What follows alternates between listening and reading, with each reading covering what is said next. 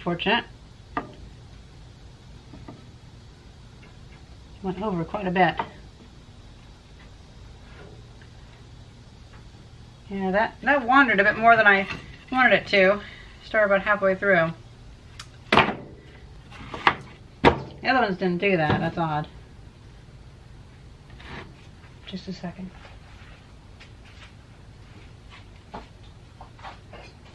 Okay. It'll take some fine tuning, that's for sure. It'll take some fine tuning, that's for sure.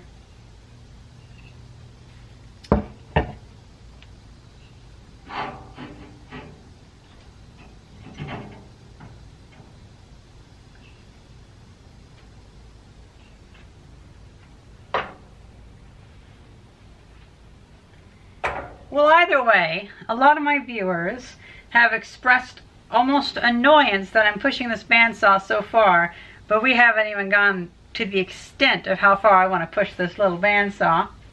And I kind of just, I was going to make a video of making this, but I just kind of did it. It's basically a skid that goes over, well,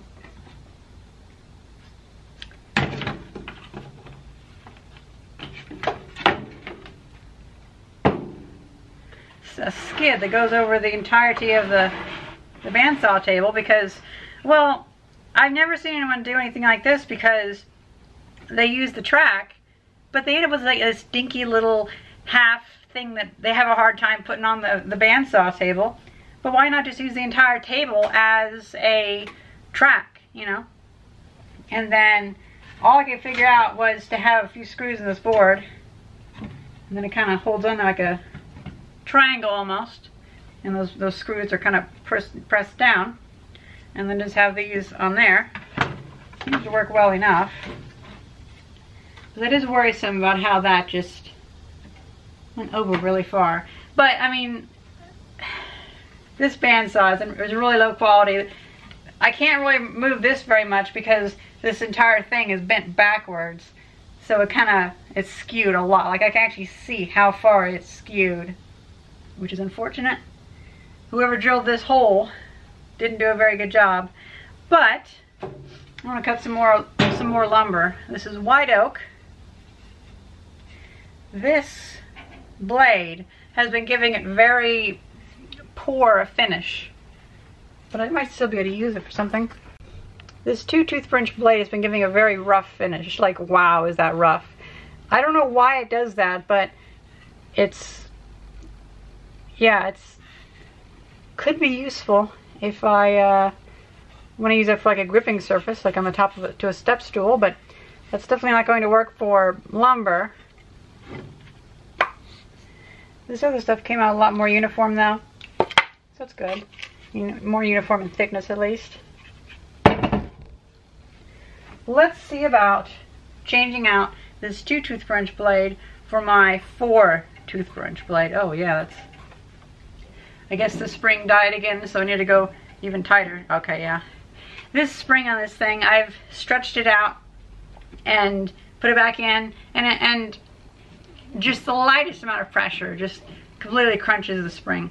So I've decided that the only way to go forward is to pretty much just entirely crunch that spring until it's basically just a cylinder and go from there. And then the springiness in the C shape is enough to keep it okay. But yeah, it's this entire tensioning method is just garbage, but it still works, amazingly enough.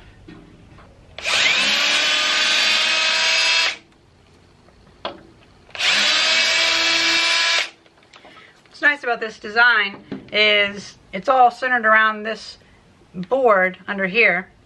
So if I wish to tune the uh, two edge boards, which are just um, other floorboards cut in half, just enough to corral it around the bandsaw table. Oh, and I also took a, a candle and wiped a candle underneath there so it's nice and smooth. And uh, I might be able to just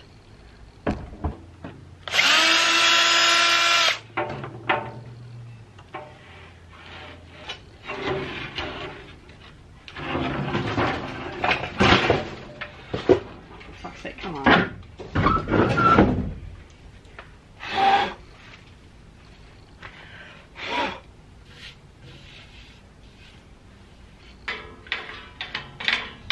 I hear some of the nicer ones. Oh,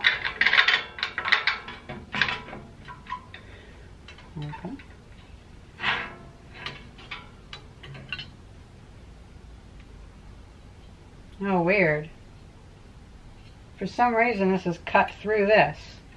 Well, that must be dulling blades. Entire thing's weird. So I'm not going to care too much about it because it's obvious that it's terrible quality. But it's a good learning machine.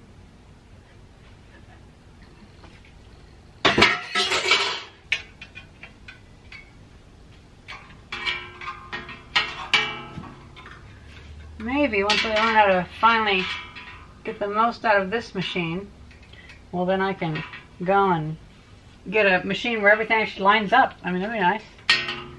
Actually, that'd be really nice. Just, it's funny how much on this, just things just don't line up. You, you, you would kind of expect it. Like, like this, well, everything, nothing lines up on this.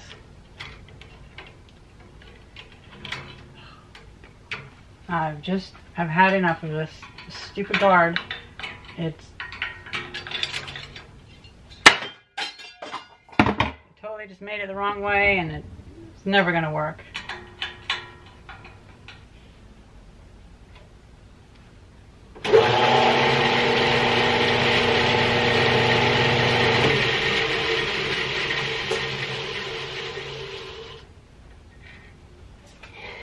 I worry that this video might end up being a little bit disjointed because I have to take a break every few minutes to cool off.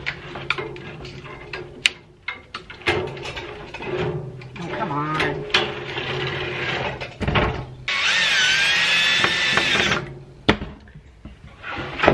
Oh.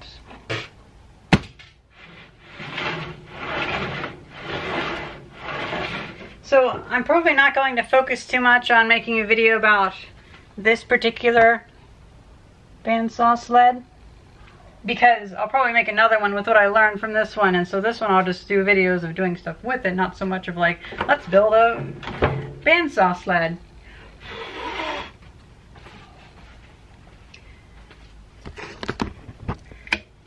now I went ahead and marked out the measurements of um, half inch, three quarter, one inch, one and a half, two inch, two and a half inch. And that way I can, oh, again with this fucking wood. this thing's just falling apart, but it, it was, you know, it's made out of junk wood. So I can line up with that. The only thing I have to do is now that I've completely rebuilt this, I'll just go through and make sure that this lines up, which Actually, it does. That's good. Yep, it does. And if it didn't, I think I could tune it by just adjusting these in and out to grip it in a different way. Oh my god, this thing is just falling apart.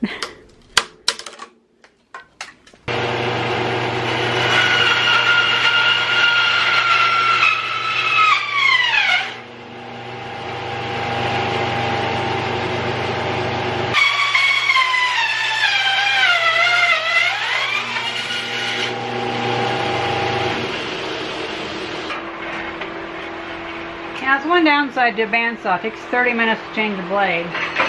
You just have to rip it all apart. If it didn't have so many darn, like, covers and stuff, it'd be easier.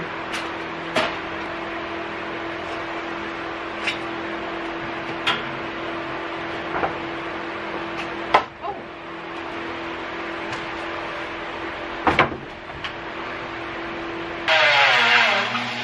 Fucking God.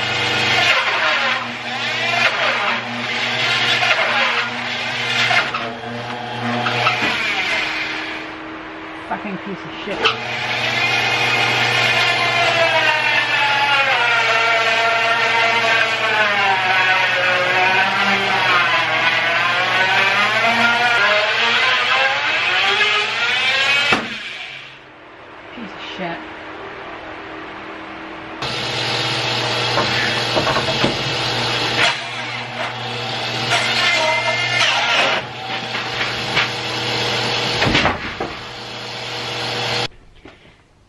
Back in May, and now it's been about, what, four months? Because I decided to shelve this project because it's really hot in here and there's been a lot of issues. And instead, I experimented with cutting lumber with my chainsaw. Had a lot, a lot better luck with the white oak, which is surprisingly hard. I'm still kind of amazed by it.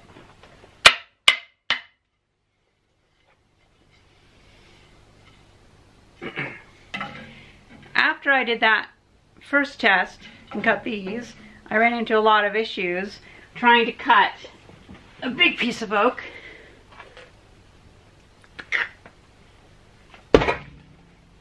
And uh, I got a little fed up and rage quit. The sled worked great, but it needs a little latch mechanism at the end. Forgive me.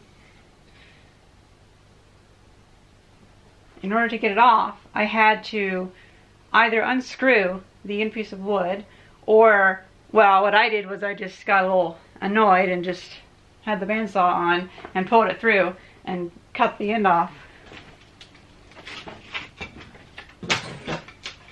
So now it's open. But the idea being, I'll just get like a little latch. Like one of those little latches that are on toolboxes and they're like the thing that goes over and you and it tightens up. That should be good enough. And then I can I can add it, I can install it without having to rebuild it around the blade or whatever.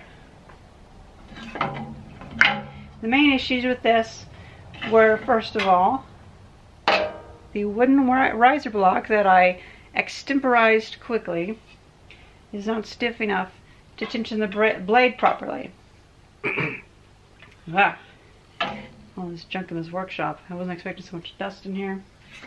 I left it pretty dirty. I should probably get some, like, um, um, dust collection. Because as soon as I came in here and started cleaning up this morning, it's just like dust everywhere. Anyway, so it's not tensioned enough. And then also, the blade isn't deep enough. So I'm thinking sawing something like this might need a, a deeper blade because otherwise it just it pushes in and it bows in that direction. Or worse it starts twisting like with this piece it starts cutting off straight.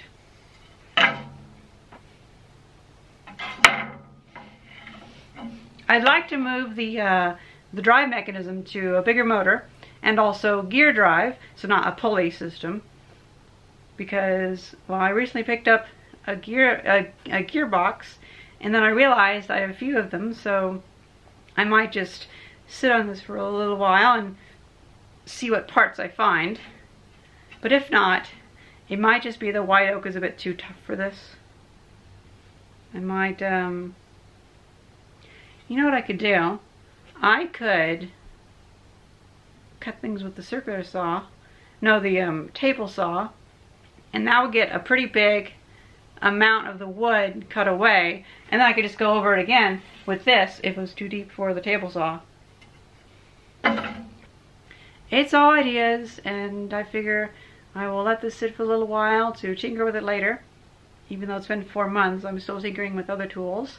And, um,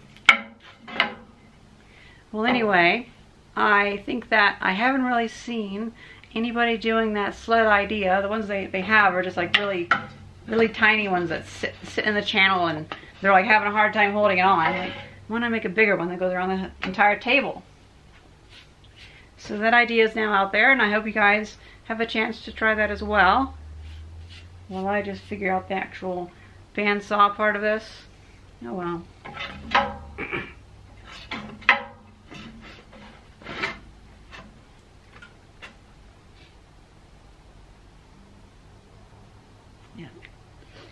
I hope you guys enjoyed this video. This quick little, I guess, failed project, but not really failed, just a little, a little project that didn't turn into a big video like I hoped. Thank you very much for watching. See ya.